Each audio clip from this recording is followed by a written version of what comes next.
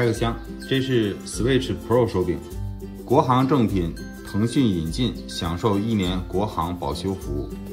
这有腾讯的贴纸，从京东自营买的，花了三百八十八，这应该确保是正品了吧？腾讯任天堂株式会社，生产年份是二零二三年，产地是中国。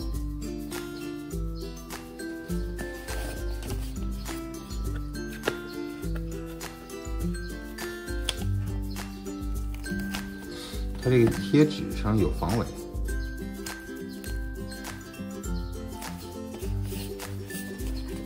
这算是国行勇士吗？哎呀，这撕了也看不出来呀！如果弄个贴纸给你这儿一封，真是看不出来。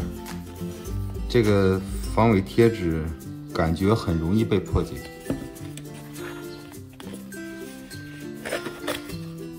所以说，购买渠道很重要。怎么连包装纸上都有码，都有型号？附送的一根 Type C 线，可以用来充电和匹配配对。这个扎线带绑的可以。前两天我拆了一个德国的一个热水壶，它那个。这个扎线带绑的特别长，而且一圈一圈的绑的特别的规整。虽然都是中国产的，但是他们有这方面要求，特别漂亮。这个头方方正正的，中国制造。这个线很粗啊，至少说比 PS 五那个要粗。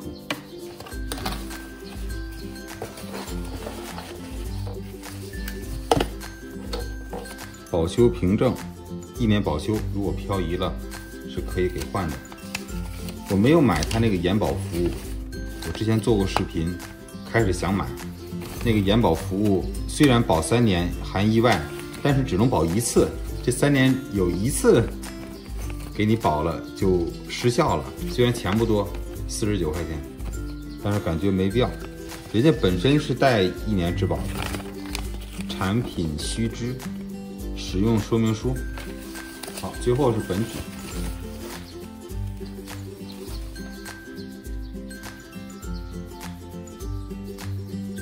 它这个壳是透明壳，这是我第一次用 Pro 手柄啊。这有任天堂的标志，认证。底下有四个灯，这有螺丝孔。希望我以后不会用到这个螺丝孔。应该也是阿尔卑斯摇杆。质感不错，有点高级感。专业手柄，这个手柄主要是有 HD 震动，震动效果不错。但是这个 R 叫 ZR，没有 PS 五的这种线性扳机键。来对比一下，你们感觉哪个漂亮？我感觉还是这个漂亮。大小差不多，PS 五稍大一丢丢。爱斯基摩人。这个烤漆这个亮度还是可以的。其实现在手柄长得都是差不多的，重量也是差不多的，不分伯仲。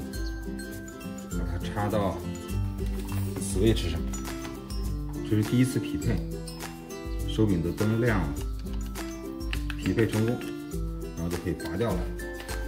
它这线上也有任天堂的标志，任天堂他们家的这个线还是不错的。它的 HDMI 线也不错。稍等，我再插一个声卡。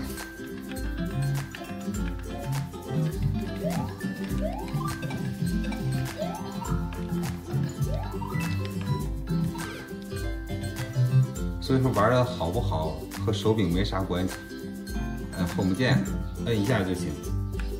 体验一下街霸。别说这个手感还是真不错。他们很多人说。这个 NS Pro 手柄这个摇杆容易漂移，我也有心理准备。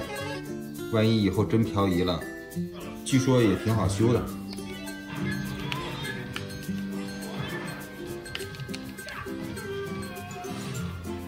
可能需要适应。这个右摇杆距离这个右侧的四个按键有点近，PS 五也有点近。它这个 HD 震动感觉有点像手机的那个线性马达。如果只有这样的话，这个水准，照着 PS 五手柄可是差远了。它这个陀螺仪 Pro 手柄的陀螺仪，比第三方手柄，甚至那个 PS 五手柄模拟的那种感觉还是不太一样的。这个掉帧这个严重。